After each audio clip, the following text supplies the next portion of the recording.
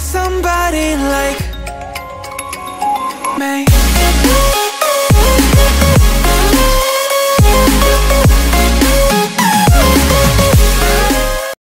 Welcome to my TRFM Rational Reminders series where I share my own thoughts and opinions about investing or investing in the stock market. So if you have any questions, send them to trfm to the moon at gmail.com.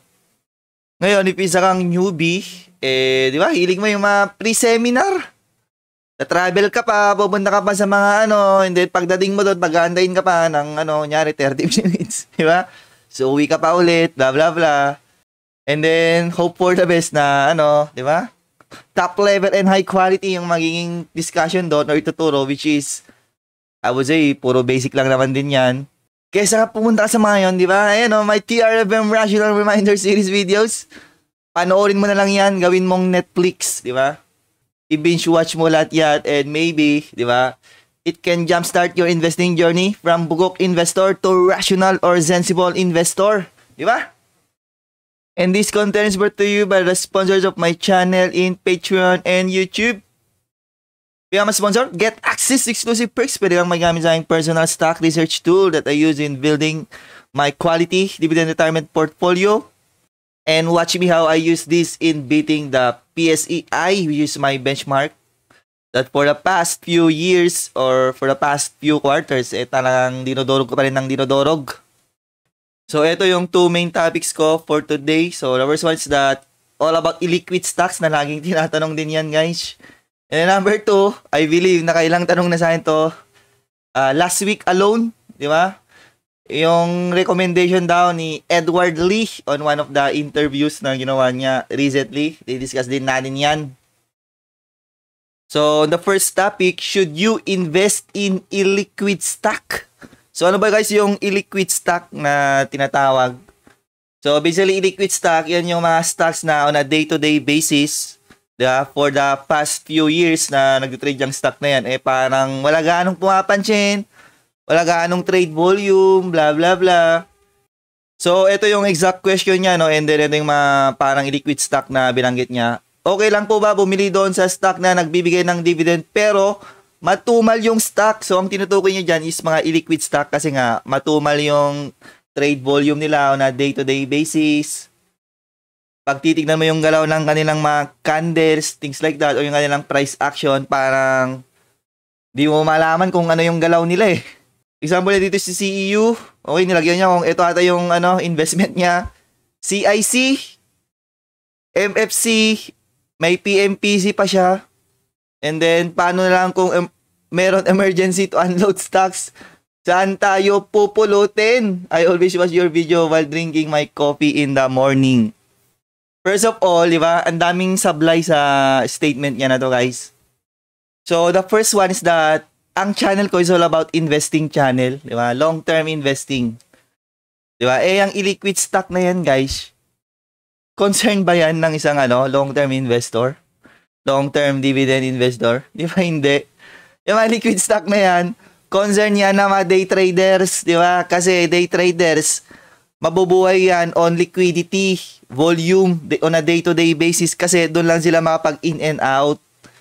Otherwise, kung walang liquidity yung mga stock na yan, hindi nila pwedeng gawin yung kanilang in and out, in and out na mga day trading activities. Kaya yung pagiging illiquid ng isang stock, concern nila yan eh. Eh ako as a long-term investor, madami na akong binibili na mga illiquid stock in the past. Nagka-problema ba ako? Hindi naman eh, di ba? In fact, mas gusto ko nga yung mga illiquid stock kasi para sa akin, as a long-term investor, illiquid stock, ibig sabihin, hindi siya tinitingnan ng madaming analyst. Di ba? On its current state, ng mga stock na yan, hindi siya pinapansin, hindi siya kino-cover. Basically, pwede kang mag-position dyan. For as long as naniniwala ka na fundamentally sound yung company, undervalued, pwedeng pwedeng mag-position dyan, tahimik pa lang sila eh. And then later on, kapag talagang nag-grow yung company, nagiging attractive siya, some of these analysts, kung talagang matatalino sila, they will be able to see this stock na in the past, nineneglect na, uy, talagang nag-grow pala to ah. And then this analyst, itong mga smart institutional investors, dahil nga yung mayan, maghanap yan ng yield, ng return their investment at some point in the future maghanap yan ng mga attractive investment and then at some point in the future mapapansin nila yung mga illiquid na to uy sige buy up na natin to still undervalued grow ng company good fundamentals di ba buy up na natin yan ng buy up di ba and by the time na iba-buy up na nila yon nakaposisyon ka na eh and then once na nagkaroon na siya ng liquidity paangat ano sa tingin nyo next na mangyayari? Mapapansin na yan ng mabugoy. Okay? Nandyan na yung mga day traders. Uy, may liquidity na. oh. Pwede nating trade-trade yan. Uh, liquidity. Pwede nating batulan yan. Drawing-drawingan na natin. And then, di ba, i-hype pa na rin ang i-hype yun. Then, di ba? So, kakalat pa ng kakalat yan sa kanilang community. Madami pa dyan mga bugok na papasok pa lang, ibabay up nila yung stock. Guys, ganyan ang cycle ng stock market. Kaya nga lang yung sinasabi, your best place to put your money always is yung mga tatay-tahimik na stock. Yung hindi pinag-uusapan, okay? Pero syempre, dapat kahit tatay-tahimik siya, hindi pinag-uusapan, dapat syempre, tingin sa fundamental siya. Is it fundamentally good company? Maganda ba yung kanyang growth prospect? Nag-grow ba siya? Mimigay ng dividends? Nag-grow yung kanyang dividends? Kaya bang mamigay ng dividends? Things like that. Kailangan, meron ka pa rin nun eh. Kasi may mga stocks na tatay-tahimik, pero tahimik sila kasi mga basura eh. Walang pumapansin totally. Di ba? Walang incentive to buy and hold for those companies. Depression lang yung makuha mo sa mga ganong companies. Di ba? Kapag hinol mo sila ng i-hold, mga basurang, mga bugok na yan. So, kunyari ito, one of the example na ginawa niya, CEO kasi ganyan ang illiquid eh, ayan no. O, di ba? Parang di mo malaman ano yung candle niya eh. Tash baba, tash bag. Pero, di ba, pwede yan guys, mag ninja move na ano, uh, umangat ng umangat, di ba? Di mo mamalayan, nandito na pala siya. And by the time nandito na siya, di ba? May mga magbibid-bid na dyan sa kunyari 11, 12, 10, di ba? Pwede, ganun pa rin eh. Benta mo pa rin siya. So, most recent example ko nga na ginagawa or sinasabi dati, si MVC, and liquid din to eh, oh, on a day-to-day basis. Ganyan lang siya. Pero in-accumulate ko siya dati dito, 3.223. What happens after that? Undervalued siya eh. Kaya, you know, pinitik siya ng pinitik paunti-unti. And by this time, nung pa siya sa aking fair value, nabenta ko pa rin siya eh. Anong problema doon, di ba? Long-term investing nga eh. Kung naniniwala ka na undervalued yung stock, magre-reprice at magre-reprice yan to its true value. Ano lang nga simple yon. Another latest example ko guys, si VMC, na eto, na-analyze ko na rin ito ng ina-analyze last year. Dito pa yan, binibili ko siya rito. And ayun no, pinipitik siya paunti-unti pangat ng pangat eh. Malay mo, baka bigla akong magising yan, nandito na yan sa above 4. Di ba? Ngayon, mga illiquid stock, it doesn't mean na illiquid, pangit na siya. Ibig sabihin lang, kukunti lang yung mga analyst or institutional na nakaka-cover niyan. Pero, pag talagang attractive siya, undervalued, nagro-grow, papansin at papansinin din yan.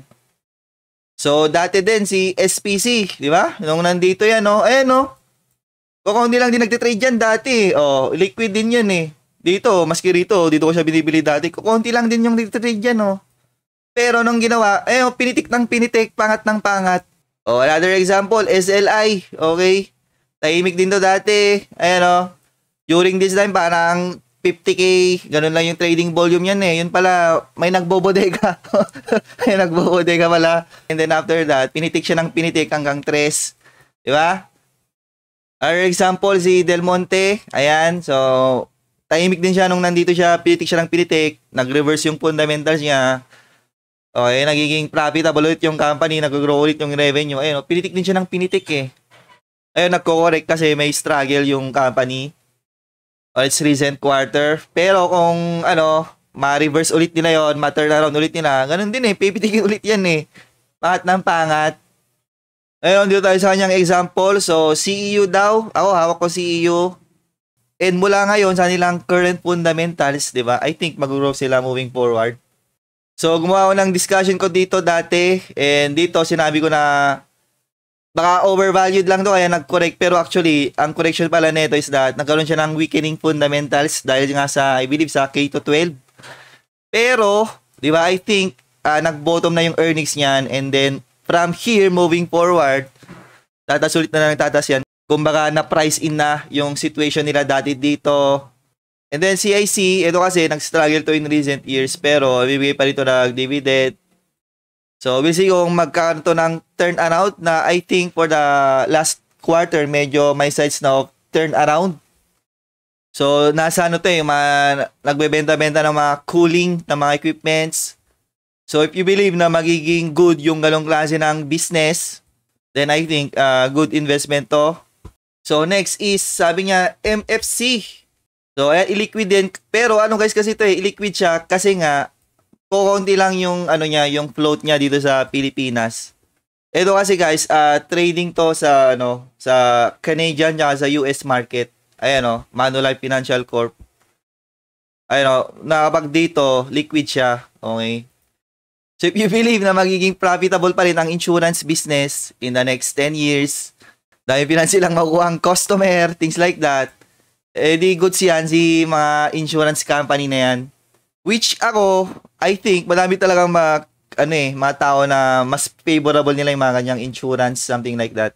Kumbaga, na nilang pairaman yung sarili nila. And then, wow, no, hulog na lang hulog ng mga, ano na yan, mga insurance insurance na yan. And then, maybe, wala daw silang pro problemahin in the future. Ngayon, what I like about MFC is that, kapag humihina yung peso natin and lumalas yung dolyar, tumatas yung dividends mo dyan eh. And then, you have uh, PMPC. I believe, ano to eh, uh, ultra small cap na ata to guys. So, hindi ko to pinapansin eh. Ano to, Panasonic. Ayan o, 433 million in market cap. And financials, 162. Nag-struggle nga siya year-to-date basis. Kaya hindi ko yan pinapansin eh. So, ano ba ginagawa nito? Di ba? Panasonic kasi parang sikat lang sila nung mga kabataan natin. On this date, parang wala na silang ano eh. Ano ba ang ginagawa ng Panasonic ngayon? Di ba? So, hindi ako aware sa company ito kasi hindi ko siya pinapansin. And then, ito na yung isang concern guys, no? Paano na lang kung merong emergency to unload? Ito na ba sinasabi ko guys, no? Guys, sa stock market, dapat ang nilalagay mo dyan, yung ano, hindi mo kakailanganin na pera, let's say for the next 2 years, pa, kahit gano'n na lang eh, minimum. Kasi pag maglalagay ka dyan, including yung mga emergency funds mo, aba, di ba? Yari ka talaga dyan. Kasi nga, ang investing in the stock market, ang big part niyan is yung emotional mo, di ba? How will you able to control your emotions? Paano ka hindi magiging emotional at times? And syempre, pag nagkaroon ka ng emergency, di ba, maging super emotional ka dyan and then, nilagay mo pa yung ano, emergency fund mo sa stock market, kung ano na lang ibebenta mo dyan eh. And then, what if, nung time na nagkaroon ka ng emergency, yung stock market pababa, Kapag ang stock market pababa, yun yung the worst time na magbenta ng stock. Kasi kapag ang stock market pababa, a lot of uh, investors eh nagiging irrational.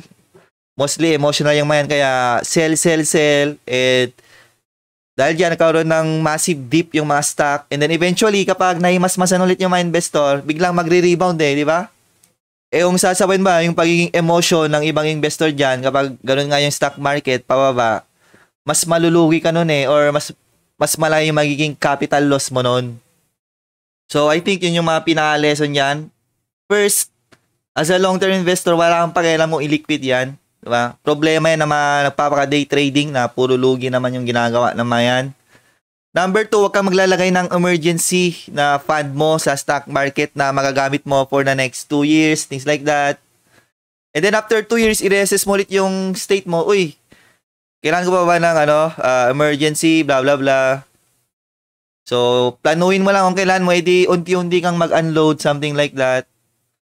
Huwag yung pabigla-bigla, things like that. Pero pinaka the best nga, di ba, is mag-set aside ka na lang ng emergency fund mo para wag mong biglahin yung portfolio mo na bigla kang mag-unload dyan, di ba? And then eto guys, ladaanan ko lang yung ibang question sa akin. So eto is a question about PDR. Na technically wala naman ako alam dyan sa mga PDR kasi guys, sinabi ko na to in the past, ang ginagawa ko lang on my channel as a simple retail, puro basic lang ako. So yung mga ganyang na mga PDR, PDR, di ko na inaalala yan, di ba? So dadagdag pa yan sa ginagawa mong complexity on your investment. So siguro habang nagmamature ako sa stock market, things like that, madadanan at madadanan ko rin tong mga to and maybe maaral ko din sila. But for now, di ba, dapat pina-prioritize mo ano yung uunahin mong aralin tsaka hindi, di ba? Which is, dapat yung mga basic muna. Pero syempre yan, pwede mo yan i-google, di ba? So what is a Philippine Deposit Receipts or PDR? A security which grants the holder the right to delivery of sale of underlying share. Actually, ito mas maganda yung article na binasa ko kanina. So, ang PDR daw, uh, the ownership and management of mass media shall be limited to citizens of the Philippines or to corporations, cooperatives, or associations fully owned and managed by such citizens na I think yan din yung issue-issue kay ano dati eh, di ba? ABS-CBN. So ayan oh, so yung ABS-CBN, GMA, and Rappler which is mga media companies. So have used PDR to obtain foreign investment. Ayan, para daw mapag-raise sila ng funds sa foreign even at the expense of recognizing the constitutional prohibition of foreign ownership in the industry of mass media. So, ayan o, PDRs are financial instruments that foreign funds can buy into allowing media and other Filipino firms that must keep foreign ownership at 40% ayan o, to raise funds globally. So, nag-issue daw sila ng ganyan to raise funds globally. So, ayan o, the Philippine Stock Exchange affirms that a Philippine depository receipt is a security which grants the holder the right to delivery of sale of the underlying share. So, a PDR consists of a deposit price. So, pag binili mo daw yung PDR na yon, magkaroon ka ng deposit price and option price which is uh, considered as a payment when the buyer opts to convert the said PDR. So, technically, kapag nag-opt sila na ayaw namin convert yung PDR, meron sila nitong, di ba, uh, underlying deposit and option price yung mga PDR na binili nila dati.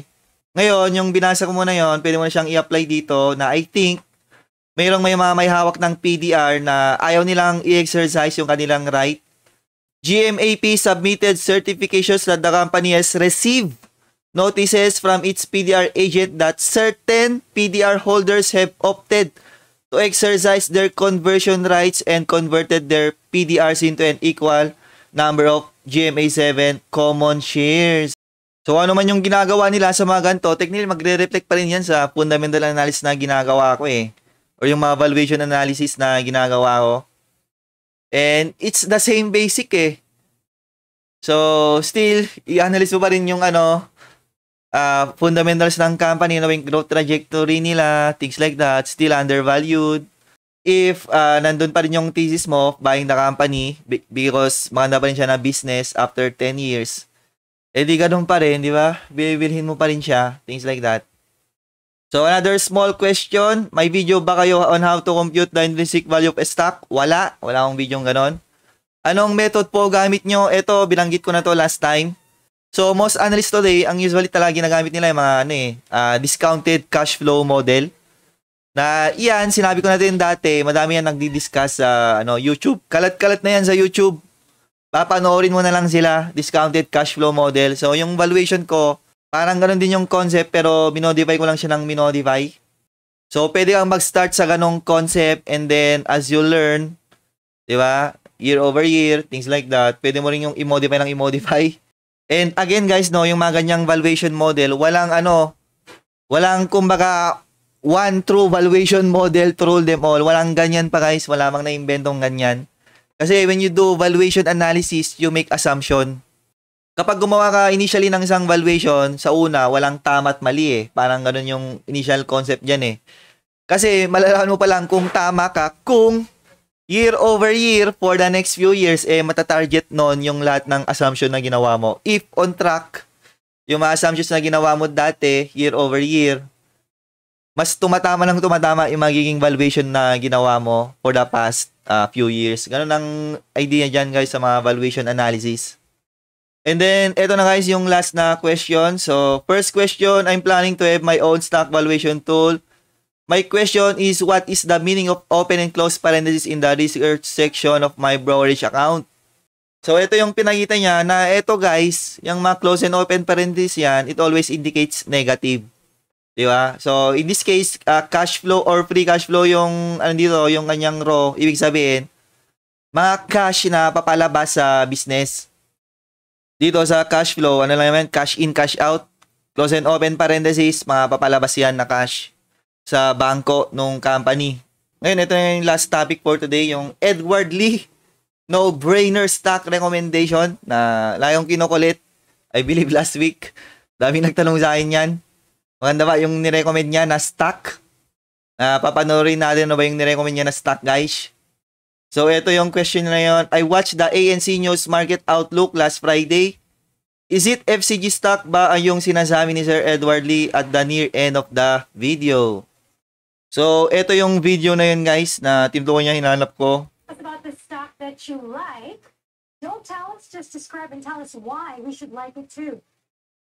Well, it's a young growth food company going uh, that's that So sabi niya it's a young food growth company. said last year, and it was basically instead in uh, invested So last year lang daw na nag-list. early this year. There was a big investment, 15% was invested by a major So big investor daw eh nag-invest sa kanya 15%. So tama yung mga nagtatanong sa akin guys no. Ah, FCG daw ba 'yon? Yes, si FCG 'yon kasi yung 15% na 'yon si Monde 'yon. So kapag tinignan mo yung price action niya, ito yun eh, 'di ba? So 0.70, wag tinignan mo yung ano, yung video na 'yon. Ayun, nandun siya malapit. Nag-3 shots high as 1. So ayan oh, so FCG nga yan guys. And I believe etong run up na to, ito yung news na sinabi ni Monde. Acquire kami diyan ng ano, ah 15% stake. and uh, earnings have done very well last year. So 380 million. This year, probably estimate of make 500 million. So maganda raw yung ginawa niya last year. 300 plus million. And then this year estimate baka daw mag 500 plus million. Grabe no? So financial report estimated daw nila this year. So ang year to date niya right now is 370. So parang pwede guys no? Parang abot nga siya 500 million in profits this year. So it's a 4 billion market cap, and um, there continues to be they continue to expand their branches. So there are about 155 branches today. They'll probably have another 25 by next year. So it's a young growth company, 4 billion market cap, making 500 million, a no-brainer. So, yun yung sinabi niya. ah 4 billion in market cap. So, punta ka rito. ah, stock data. Ayan o, 4 billion in market cap. Young and growing. expand pa daw. So, it's a no-brainer investment. Yun yung sinabi niya. Ah, parang attractive na yun. ah. Let's say, makapag 500 nga sila. Despite mga inflation, di ba? Kaya nilang mag 500. So pag wala ng inflation ba, lumaki pa yung margins nito. Let's say next year bumaba na talaga yung inflation. So na si FCG guys, lagi kong sinasabi dati, 'di ba? Pag tinatahil ko to on my TRFM Insight, pag tinitingnan naman si FCG, tumin ka sa Angel's Pizza kasi majority ng growth driver niyan. Ayan o, Angel's Pizza. 2 billion, okay? Yung iba, yung Figaro Coffee Group, despite, 'di ba, yung nandito nang galing yung pangalan niya, FCG, Di ba? Ayun o, 136 million lang. And then yung uh, Tien Mas Taiwan Cuisine, 82 million. So, technically guys, Angel's Pizza ka titingin dyan. So, makita mo na, uy, patos na patos yung Angel's Pizza. Di ba? Kunyari, lagi mong nadadaanan, laging bumibili, or tinikman mo na siya, favorite mo siya, and you believe na ganun din yung magiging sentiment ng madaming tao such that magiging profitable to for the next 10 years, edi maganda to, di ba? Na makikita nyo, nag-grow talaga siya eh. So, pro forma daw dati 877, naging 1.6, di ba? 2 billion, Angel's Pizza. Pati yung Figaro, 47, 94, 136. Pero, kalaban niya kasi dyan, guys. Starbucks. Mahirap kalaban yun. Global brand na yon. Mas madami pa rin yung nagpre-prefer yung Starbucks. Kung baka, baka second option lang tong mga ganito. Pag punuan na yung Starbucks, saka sila pumunta sa ibang mga coffee shop. And then, Tien Mas Taiwan Cuisine. Okay, nag-grow din naman. 17, 62, 82. So, ito yung ngayong mga financial uh, statements. So, quick scan lang natin. So, right now, meron siyang current assets of 1.8. Laki ah. Billion. Current liabilities, 400 lang oh. Highly, ano siya guys, uh, liquid company. So, meron siyang 458 in cash na yung 458 na yan actually kaya na yung i-cover yung kanyang current liability. So, maganda nga liquidity nito. Or actually, total liabilities lang pala nito is 430 million. 458. So, pwedeng pwede, di ba? Maganda yung balance sheet nito. So, nag-grow pa rin ng revenue, 1.7 to 3. Grabe, no? Almost, ano, double.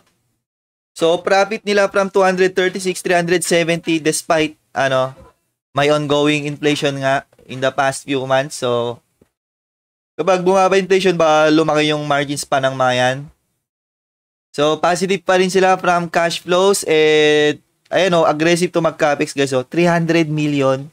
Kaya, open sila ng open ng stores uh, recently. So, I think magandang i-follow to na small uh, growth company potentially and I believe napansin ko namimigay na to ng dividend eh pero hindi pa ganoon kalaki. Ayan o, 0.01936. So, namigay siya last year, 0.01936 uh, around November EX date. So, 0.01936 right now, nasa 0.70 yung kanyang uh, trading price. Oh, that will give you a dividend yield of Uy, pwede no. 2.76% dividend yield. Eh, tumas nga profitability nito eh. Baka umabot to guys 3% yield at current price kapag mag-declare ulit siya. I think medyo goods nga to. So, gagawin ko to guys ng ano, uh, one-pager analysis wala kasi akong existing analysis nito kasi bagong-bagong company. And then maybe try natin i-analyze using my one pager stock analysis and gagawin na rin ako ng valuation. Pero so far, I think promising nga siya guys. Yun kasi yung isang magandang unang tignan kapag malilit na company. Growing revenue at uh, maganda liquidity niya. I would say uh, mababa din yung obligations nito for sure and maybe uh, low leverage kasi nga maganda liquidity niya eh. And that's my rational reminder for today's video. Thank you and bye-bye. Like and subscribe.